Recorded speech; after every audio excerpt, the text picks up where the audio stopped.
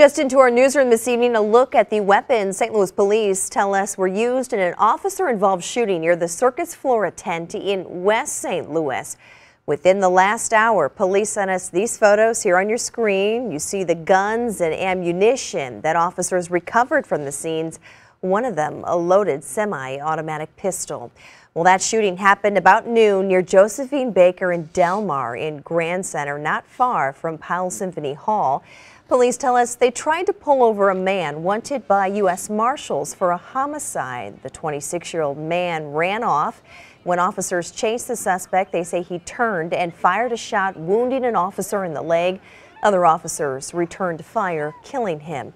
Tonight, that St. Louis police officer is hospitalized in stable condition. St. Louis police have not released the name of the shooter.